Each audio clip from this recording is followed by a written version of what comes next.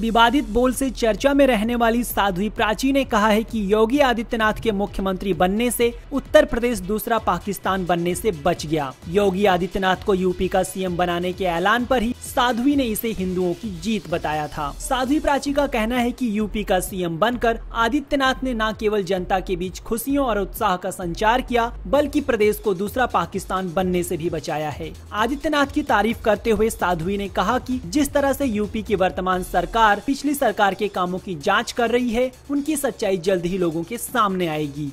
इसके साथ ही साध्वी ने कहा कि योगी सरकार के कामकाज से समाजवादी पार्टी की रातों की नींद खराब हो गई है। वहीं शराबबंदी पर साध्वी का कहना है कि उत्तर प्रदेश की सरकार को भी राज्य में शराबबंदी लागू करनी चाहिए। बीएचपी नेता साध्वी प्राची अक्सर ऐसे बयान देती रहती हैं, जिन पर विवाद होना तय रहता है। इसके पहले साध्वी प्राची ने कहा था कि योग का विरोध करने वाले लोग देश छोड़कर पाकिस्तान चले जाएँ। उत्तर प्रदेश की महिलाएँ शराबबंदी के लिए जो आवाज़ उठा रही है वो उचित है।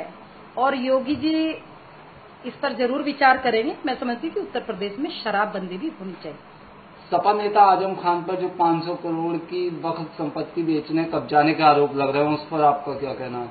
आप चिंता न करिए आज़म खान की जल्दी से जल्दी जाँच होगी और वो जेल के अंदर होगा। जब सपा सरकार में लोगों को उजाड़ा जा रहा था तब आप भी रामपुर गई थी आपको भी रोकने की लाख कोशिशें करी गई थी प्रशासन की अब योगी सरकार है आपकी सरकार है। क्या उन्हें इंसाफ दिलाएँगी और किस तरह से दिलाएँगी? निश्चित रूप से रामपुर के उन दलितों को उन वाल्मीकियों को जिनके साथ में इतना बड़ा अन्याय किया गया ज़बरदस्ती उनका धर्मांतरण कराया गया उनकी जाँच कराएँगे और उन परिवारों को हम न्याय दिला करके रहेंगे। बूचड़ खाने बंद करा दिए गए। क्या कहना है आपको? जो वायदा भारतीय जनता पार्टी ने चुनाव से पहले किया था 24 घंटे के अंदर वो अवैध बूचड़ खाने बंद हो गए। इससे बड़ी बात और क्या हो सकती है? भारतीय जनता पार्टी जो कहती है वो करके दिखाती आज़म आज़म खान जैसे भारतीय जनता पार्टी की सरकार उत्तर प्रदेश में बनी तो आज़म खान के भी संस्कार परिवर्तित हो गए। और मुझे लग रहा है कि शायद नवरात्रों के व्रत न रखे हो उसमें। क्या योगी सरकार बनी है उत्तर प्रदेश में? क्या मानती है योगी सरकार? ये उत्तर प्रदेश का सौभाग्य है।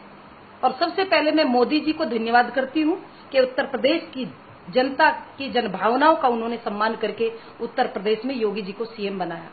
उत्तर प्रदेश अब उत्तम प्रदेश बनेगा उत्तम प्रदेश पाकिस्तान बनने से बच गया है। योगी सरकार बनने योगी सरकार बनने